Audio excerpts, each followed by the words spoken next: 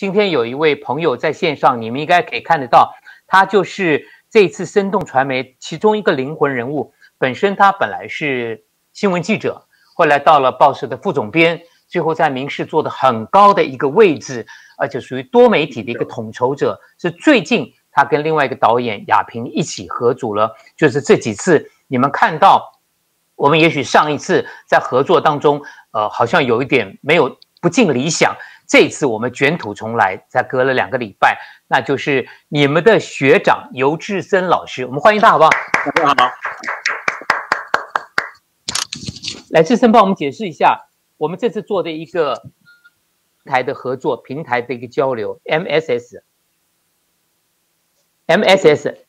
今天目前我们正在 FB 做直播啊，嗯，那我跟我们的团队针对上一次的缺失，其实我们有有一些状况就做做个排除哈。我先跟各位讲，就是说，因为我们是属于电视台，所以呢，电视台有所谓的电视系统啊，嗯。那电脑有电脑的系统，是其实电视系统跟电脑系统要要融合，它其实本身不那么容易。嗯哼，可能因为它是不一样。电视系统我们以前所学习的电视系统是属于 broadcasting 的概念，它是 one way，就是播送。就像凯伦哥你在 radio，嗯，也是做这个概念，就是它是用电波的概念发射出去。是，但是它不管 feedback 的东西。嗯，所以它不管这个没有这个 interactive 的这种概念，所以呢，电电脑系统就属于有互动的概念。嗯，它是属于 double way，就是双向。嗯，所以我们必须要把声音跟影像在做如何做，把电脑系统变成我 broadcasting 概念在做直播，这其实是有一些技术性的需要去融合跟克服。大概讲，那我们整个小团团队就把这个问题给克服了。待会儿同学、呃学弟学妹们，只要在呃课后，你可以上凯伦老师的这个 FB 或粉丝团，就可以看到呃这个直播的情况。好，那整个情况会非非常的清楚，跟上一次完全不一样的感觉。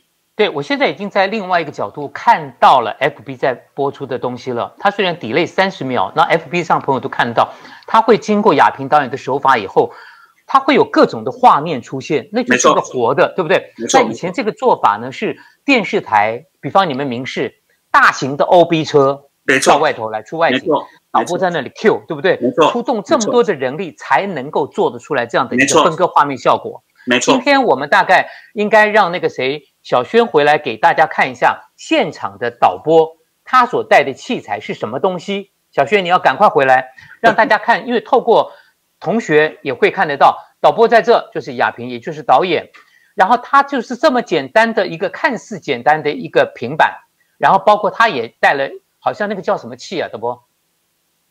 音控，音控这些东西就可以让同学们你们回头再看看 FB 上，它是呈现出多元化的，就是让我们可能除了 Google Meet 之外，转播到 FB 上，甚至他们还可以转播到 YouTube。但是今天没有办法用老师的 YouTube，是因为我的人数不到那个人数，他就 YouTube 不给我在这样子的一个，他们主导就进不来，除非我 YouTube 自己按直播导播对吧？这样才可以出得去。好，这跟大家讲一个，这就是 MSS，应该是 Mobile Studio System，是一种移动式的平台。